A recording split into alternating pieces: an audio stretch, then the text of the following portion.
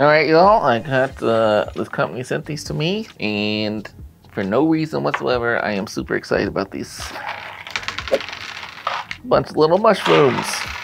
Look at that. It's fun. Isn't that neat? I guess there's two sizes. Just for size reference, here's a little Android guy, and here's a little chapstick. So you can tell they're pretty small. Oh, they're just different size. So there's a little teeny tiny, a little mid size, and then a big size. Right?